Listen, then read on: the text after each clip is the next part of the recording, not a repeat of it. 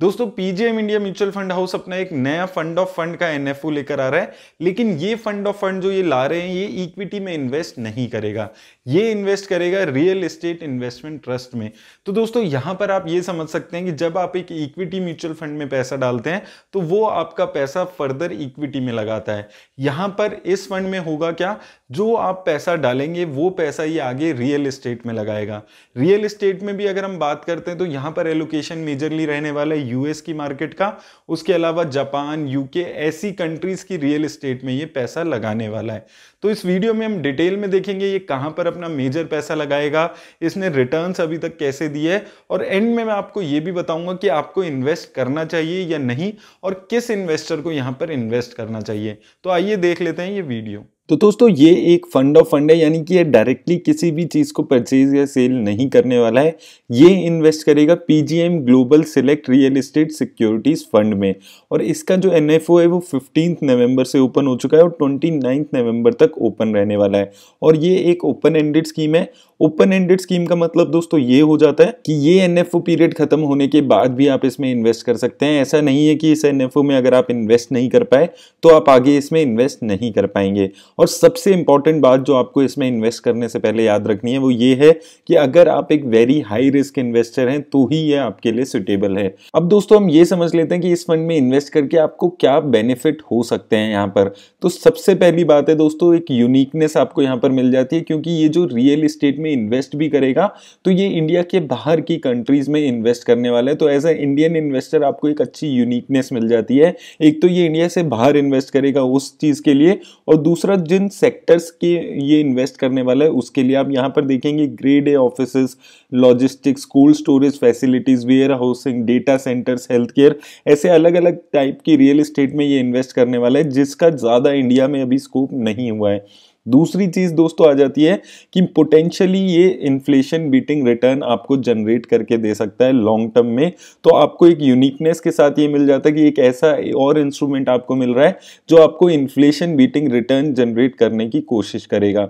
तीसरी चीज़ दोस्तों, बहुत ही कम पैसा इन्वेस्ट करके आप रियल इस्टेट का एक्सपोजर ले सकते हैं। जनरली अगर हमें रियल इस्टेट में इन्वेस्ट करना होता है तो मिनिमम हमें लगभग हमें तीस चालीस लाख रुपए इन्वेस्ट करने पड़ते हैं। लेकिन यहाँ पर आप पाँच हज़ार रुपए से भी रियल इस्टेट का एक्सपोजर अपने पोर्टफोलियो में ले सकते हैं। तो ये एक अच्छी बात यहाँ पर लगती है। और दोस्तों, इसके अलावा ये आपके पोर्टफोलियो को एक डाइवर्सिफिकेशन दे देता है। अगर आप इन्वेस्ट कर रहे हैं सिक्योरिटीज में स्टॉक्स में, इसके अलावा आप पीपीएफ वगैरह में भी इन्वेस्ट करते हैं तो तो उसके अलावा एक रियल इस्टेट का छोटा मोटा अगर आप एलोकेशन अपने पोर्टफोलियो में रखते हैं तो आपके पोर्टफोलियो को एक अच्छी डाइवर्सिफिकेशन यहाँ पर मिल जाती है। और दोस्तों, जैसे कि मैंने आपको बताया था कि ये पीजीएम के ही एक ग्लोबल फंड में इन्वेस्ट करेगा तो पीजीएम का रियल इस्टेट एक बहुत बड़ा रियल इस्टेट है, आप यहाँ पर देख सकते हैं। 51 ईयर से ये यहाँ पर चल रहा है और top two global real estate investment manager में से एक पीजीएम रियल एस्टेट है। अब दोस्तों, अगर हम फ्यूचर की और ग्लोबल ट्रेंड की बात करते हैं रियल इस्टेट को लेकर तो आपको यहाँ पर सबसे अच्छी बात क्या है कि कोविड 19 अब खत्म होने की कगार पे आने लगा है तो उसकी वजह से ऑफ़िस ओपन होने लगे हैं। ऑफ़िस ओपन होने लगेंगे तो धीरे धीरे उनकी डिमांड बढ़ेगी और उनका रेंटल बढ़ेगा। और उसके साथ दोस्तों, अब जो नए ऑफ़िस भी बन रहे हैं, वहाँ पर एक अच्छी बात क्या है कि जो क्वालिटी है उनकी वो ज़्यादा बेटर बन रही है। तो ये एक अच्छी बात यहाँ पर देखने को मिलने वाली है कि जो ऑफ़िस भी बनेंगे, उनकी भी एक क्वालिटी अच्छी बनाई जाएगी ताकि जो लोग आएँगे वो सोशल डिस्टेंसिंग का भी पालन कर पाए और वो एक साफ़ सुथरे माहौल में काम कर सकें ताकि ज़्यादा से ज़्यादा लोग वापस ऑफ़िस में आके काम कर सकें। वहीं दोस्तों, अगर हम इसकी इन्वेस्टमेंट स्ट्रेटेजी पे यहाँ पर बात करते हैं तो यहाँ पर इन्वेस्टमेंट स्ट्रेटेजी अगर हम समझते हैं तो आपको सबसे पहले देखने की बात है कि ये ग्लोबल कंपनीज़ में इन्वेस्ट करेगा और 30 से 45 इसके पोर्टफोलियो में सिक्योरिटीज यहाँ पर रहने वाली है। और उनको अपने पोर्टफोलियो में ऐड करने के लिए बॉटम अप अप्रोच का यूज़ करने वाले हैं। यानी कि सबसे पहले देखी जाएगी उसकी वैल्यूएशन वैल्यूएशन को देखने के बाद डिसाइड किया जाएगा कि कितनी ज़्यादा पोर्टफोलियो में वेटेज उसकी रखनी है। और उसके अकॉर्डिंगली ही इस किसी भी कंपनी को अपने पोर्टफोलियो में यहाँ पर ऐड किया जाएगा। अब दोस्तों, अगर मैं टॉप टेन होल्डिंग्स पे यहाँ पर बात करता हूँ तो सबसे ज़्यादा होल्डिंग रहने वाली है प्रो लॉगिस की एट के आसपास। उसके बाद वेल टावर की 6.3 परसेंट इक्विटी रेजिडेंशियल की 4.8 परसेंट और लाइफ स्टोरेज की 4.4 परसेंट के आसपास यहाँ पर रहने वाली है एलोकेशन अब दोस्तों, अगर मैं इन टेन कंपनीज़ के पोर्टफोलियो की और ब्रीफली आपको यहाँ पर बताता हूँ तो सबसे पहले जितनी सबसे ज़्यादा एलोकेशन है प्रोलॉजिस की, यहाँ पर अगर आप देखेंगे तो ये एक इंडस्ट्रियल रिट्स है जिसमें ये पैसा आपका इन्वेस्ट होने वाला है तो 6.4 परसेंट एलोकेशन इसमें रहेगी। वेल टावर की अगर हम बात करते हैं तो इसके पास लार्जेस्ट एक्सपोजर है सीनियर हाउसिंग का।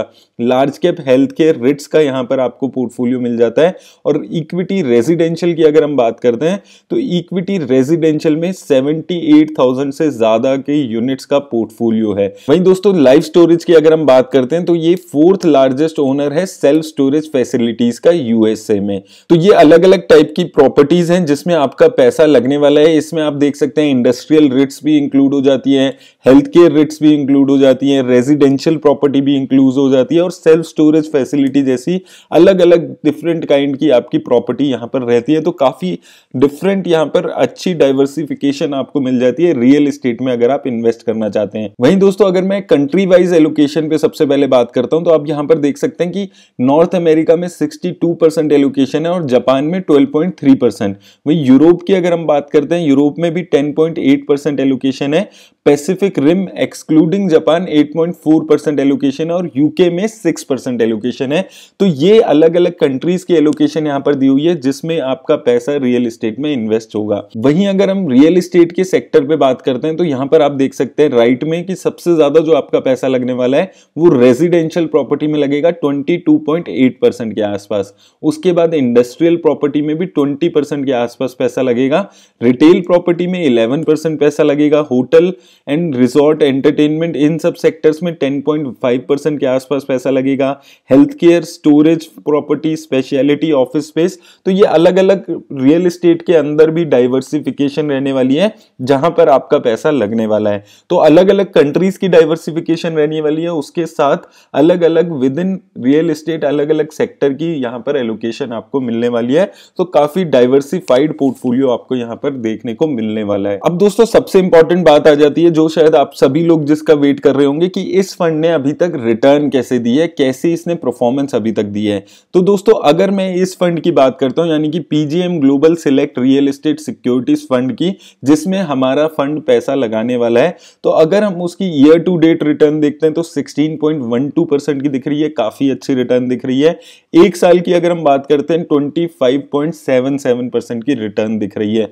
एक में 25 परसेंट की रिटर्न अगर आपको रिट्स में मिल रही है, उसका सबसे बड़ा रीजन यही है कि सिंस एक डेढ़ साल से जो इंटरेस्ट रेट है, वो काफ़ी ज़्यादा कम हो गए हैं तो प्रॉपर्टी के प्राइजेस काफ़ी अच्छे हो गए हैं काफ़ी डिमांड बढ़ चुकी है प्रॉपर्टी की रेंटल दोबारा से बढ़ने लगा है तो उसकी वजह से पिछले एक डेढ़ साल में प्रॉपर्टी की काफ़ी अच्छी रिटर्न यहाँ पर आपको देखने को मिल रही है। तीन सालों में भी दोस्तों नाइन की रिटर्न है जो की एक अच्छी रिटर्न ही आप मान सकते हैं। आप, आपको दोस्तों यहाँ पर इस फंड की रिटर्न को इक्विटी की फंड की रिटर्न से कंपेयर नहीं करना है। ये चीज़ आपको समझ कर चलनी है कि यहाँ पर जो रिटर्न आपको मिलेगी वो कंपेरेटिवली कम मिलने वाली है। वहीं दोस्तों, पाँच सालों में 6.63 परसेंट की रिटर्न यहाँ पर आप देख सकते हैं और सिंस इंसेप्शन यानी कि 12 अक्टूबर 2015 में जब ये लॉन्च हुआ था, वहाँ से अभी तक 6.9 परसेंट के आसपास की रिटर्न दी है। तो दोस्तों, एक छह, साढ़े छह परसेंट के आसपास की रिटर्न आप मान के चलिए लॉन्ग टर्म में जो यहाँ पर अभी तक दिख रही है, वो समझकर आपको यहाँ पर इन्वेस्ट करना है। ये चीज़ आपको बहुत ज़्यादा इंपॉर्टेंट हो जाती है कि आपको ये एक्सपेक्ट नहीं करना है कि ये इक्विटी की तरह तीस, चालीस, पचास परसेंट की रिटर्न देने वाला कोई फंड रहने वाला है अब दोस्तों क्विकली मैं इस फंड की और बेसिक डिटेल्स के बारे में आपको बता देता हूँ। तो ये एक ओपन एंडेड स्कीम है और ये अपना जो मेजर पैसा लगाने वाला है, वो रिट्स में लगाएगा या इक्विटी रिलेटेड सिक्योरिटीज में भी ये लगा सकता है रियल एस्टेट कंपनीज़ की। अब दोस्तों, अगर हम इसके एग्जिट लोड पे बात करते हैं तो अगर आप 90 डेज़ के अंदर 10 परसेंट तक की यूनिट्स बेचते हैं तो आपको कोई एग्जिट लोड नहीं देना होगा।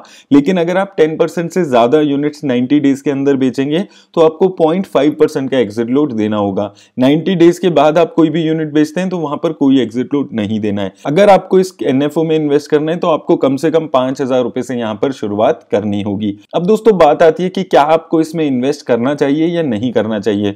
तो सबसे पहले तो दोस्तों, सिर्फ़ वही इन्वेस्टर इसमें इन्वेस्ट करने के बारे में सोचें, जो वेरी हाई रिस्क लेने वाले इन्वेस्टर हैं। और रिटर्न हमने इसमें देखिए साढ़े छह, सात परसेंट के आसपास की रिटर्न इसने सिंस एक्सटेंशन जनरेट करके दी है, जो कि एक मुझे नहीं लगता एक वेरी हाई रिस्क लेने वाले इन्वेस्टर जनरेट करके खुश होंगे। तो ओवरऑल मुझे लगता है कि आपको ऐसे फंड में अभी अवॉइड ही करना चाहिए। रिट्स में अभी मुझे लगता है और टाइम देना चाहिए इंडिया में। जब थोड़ा ज़्यादा मार्केट रेट्स का आ जाएगा और थोड़ी रिटर्न्स बेटर होगी, तभी मुझे लगता है रिट्स में अभी आपको इन्वेस्ट करना चाहिए। अगर आपको ये वीडियो अच्छी लगी हो दोस्तों तो इसे लाइक और शेयर ज़रूर कर दें। धन्यवाद।